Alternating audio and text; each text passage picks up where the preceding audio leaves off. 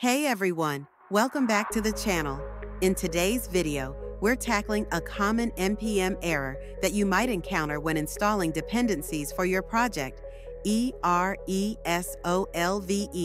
unable to resolve dependency tree.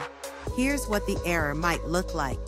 As you can see, NPM is struggling to resolve a dependency conflict.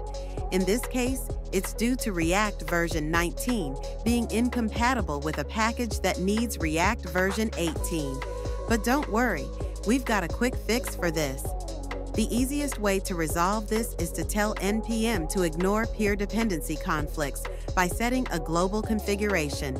Just run this command, npm config set legacy peer deps true. This makes NPM automatically skip dependency conflicts in the future and lets your installation continue smoothly.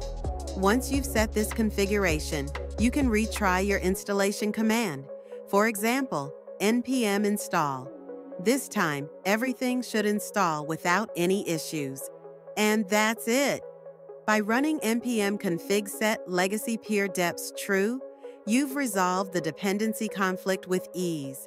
If you found this video helpful, make sure to like, subscribe, and hit the notification bell for more dev tips and tutorials.